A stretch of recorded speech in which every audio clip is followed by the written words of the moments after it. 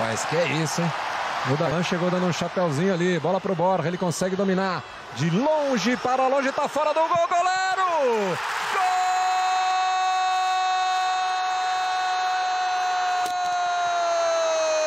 Gol do Grêmio!